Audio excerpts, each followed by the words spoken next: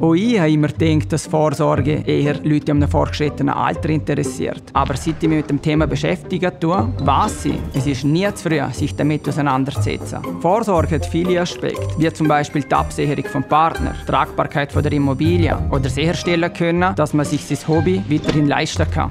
Kommen Sie zu einem unverbindlichen Erstgespräch vorbei. Wir zeigen Ihnen gerne auf, was wir unter einer 360-Grad-Beratung verstehen. Einem weiteren Schritt unterstützen uns unsere internen Fachexperten. Die LLB ist seit 20 Jahren bekannt für private Finanzplanungen im Liechtenstein. Ich bin der Michele Polverino und wir beraten Sie gerne.